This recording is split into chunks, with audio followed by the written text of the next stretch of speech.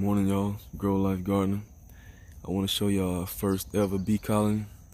They put them in a uh, 10 frame deep body. They went and purchased this five frame nuc yesterday. So, and queen, strong and healthy. Bees flying around, pollinating our fruits and vegetables. You know, by no means we professionals, whatever. You know, we just some backyard beekeepers backyard gardeners, and that's just what we do. We enjoy it, and we just come out here and we just have fun with it, man. That's what life all about, just making the best of everything. So that's what we're doing. And I just want to show y'all this. Yeah, roosters crowing. So this is our first ever colony.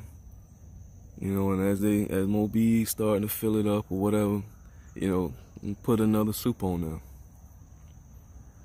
And let them work that through. So well, I just want to show y'all, man, what we doing.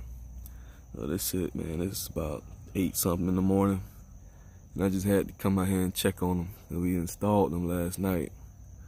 So yeah.